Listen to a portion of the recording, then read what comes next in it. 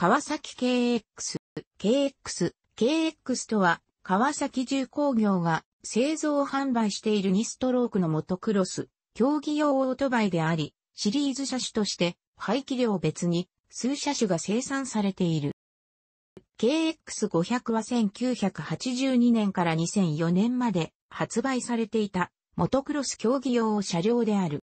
モデルライフ初期は年度によって変更箇所の大小はあるものの毎年モデルチェンジを重ねた。モトクロス世界選手権や AMA モトクロスの 500cc クラスを対象としたモデルであるが、未舗装路で扱うには相当のテクニックを必要とし、世界的にも販売台数が見込めないために1985年から1988年は、本的には同年式の KX250 口述の排気量拡大版となる。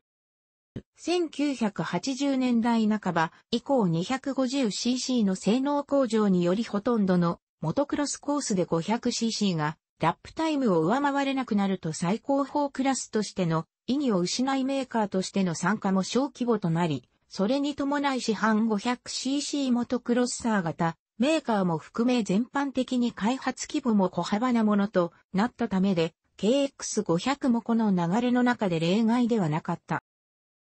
1989年、KX250 に対しフレームの大幅な変更が行われると、KX250 と互換性のあるフロントフォーク及び前後ブレーキの変更がその年に一度行われ、それ以降は毎年度グラフィック変更のみとなる。しかし直線全開区間が長いバッハ線では、モデルチェンジをしなかったことで、モトクロッサーとしてやや大柄な車体も、功を奏し、ラリー・ロズラー選手の手により、砂漠最速マシンとして永年にわたり臨した。ホンダが4ストロークエンジン搭載の XR600R 及びその後継機種の XR650R でバハ戦に参加していたこともあり、CR500 よりは後年までにストロークビッグオフローダーとして生き残ることとなった。日本国内では 500cc のモトクロス公式戦が行われないため正規販売されなかった。KX420 は1979年から1980年の2年間発売されていたモトクロス競技用車両である。モトクロス世界選手権や AMA モトクロスの 500cc クラスを対象としたモデルであるが、未舗装路で扱うには相当のテクニックを必要とし、世界的にも販売台数が見込めないためにモデルライフ中大幅なさらは加えられなかった。日本国内では 500cc のモトクロス公式戦が行われないため正規販売されなかった。KX400 は1974年から1975年の2年間発売されていたモトクロス競技用車両である。モトクロス世界選手権や AMA モトクロスの 500cc クラスを対象としたモデルであるが、未舗装路で扱うには相当のテクニックを必要とし、世界的にも販売台数が見込めないためにモデルライフ中大幅なさらは加えられなかった。日本国内では 500cc のモトクロス公式戦が行われないため正規販売されなかった。KX250 は1973年から2008年まで発売されたモトクロス競技用車両である。年度によって変更箇所の大小はあるものの毎年モデルチェンジを重ねたが競技用車両といえども年々厳しくなる環境対策への対応から2005年より並行して販売されている4ストロークエンジン等の KX450 回に後継の座を譲っている。そのためか2006年型以降は車両自体の改良はなくグラフィックのみの変更となっている。KX125 は1973年から発売されているモトクロス競技用車両である。年度によって変更箇所の大小はあるものの毎年モデルチェンジを重ねたが、競技用車両といえども年々厳しくなる環境対策への対応から2003年より並行して販売されている4ストロークエンジン等の KX250 回に後継の座を譲っている。そのためか2006年型以降は車両自体の改良はなく、グラフィックのみの変更となっている。またすでに販売を終了している国、地域もある。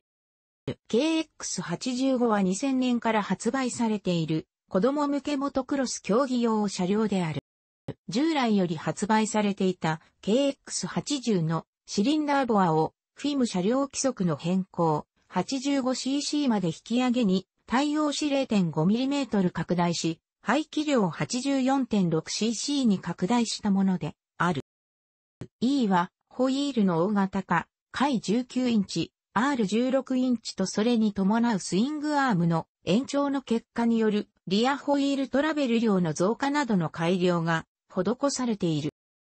しかし、車体自体は基本的に回17インチモデルと同じであり、通常の成人用モデルというよりは小柄な人や女性向け、または中学生程度の体格の子供がフルサイズモデルに乗るまでのつなぎと言える。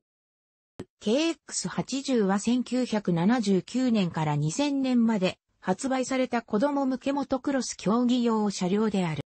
毎年のグラフィック変更と数年おきのモデルチェンジを重ね2000年まで発売された。1989年から標準モデルと並び併売されたラージホイールモデルの E は標準モデルに先駆けて倒立フォークの採用を行った。その後標準モデルも倒立フォークへと追従した結果、主だった際は、ホイールの大型化、回19インチ、R16 インチとそれに伴うスイングアームの延長の結果によるリアホイールトラベル量の増加となった。しかし、車体自体は基本的に回17インチモデルと同じであり、通常の成人用モデルというよりは小柄な人や女性向け、または中学生程度の体格の子供がフルサイズモデルに乗るまでのつなぎと言える。KX65 は2000年から発売されている子供向けモトクロス競技用車両である。従来より発売されていた KX60 のエンジンを大幅に変更を加え、排気量もシリンダーボアを 1.5mm 拡大し、約 64.7cc とし車体も KX60 が長らくモデルチェンジをしていない間に生じた上位機種とのギャップを埋めるべく技術の進歩を取り入れ、全くの新設計としたものである。現在日本国内において一般の二輪販売店で購入できる唯一の F14 インチ、R12 インチのリターン式トランスミッションのモトクロッサーである。他社にこれといった競合車種もないため毎年のグラフィック変更程度で発売され続けている。KX60 は1982年から2000年まで発売された子供向けモトクロス競技用車両である。KX60 以前に他社からも最も低年齢向けとなるオートマチックあるいはロータリー式トランスミッションの幼児用、レジャーバイクと小学校高学年程度が対象ユーザーになる 80cc クラスのモトクロの間をつなぐモデルはあったが次第に市場からフェードアウトしたため、小学校低学年程度を対象ユーザーとする唯一のモトクロッサーとなった。他社にこれといった競合車種もないため毎年のグラフィック変更程度で2000年まで発売された。KX100 は1985年に発表されたモトクロス競技用車両である。基本的には同年式の KX80E とその後継機種の KX85E のボアアップ版である。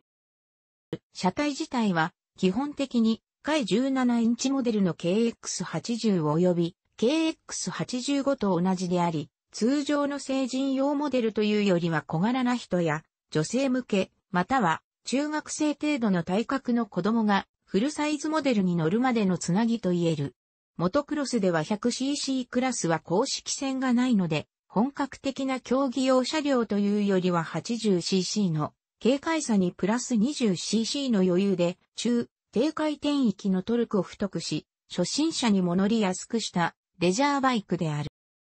上記の通り、KX80 及び KX85 とわずかな変更点しかないため、ボアアップキットの形で一部の川崎系のショップで販売され、日本では正規販売モデルとしてカタログラインナップに載ったとはなかったが、2015年7月15日より初めて日本仕様が発売された。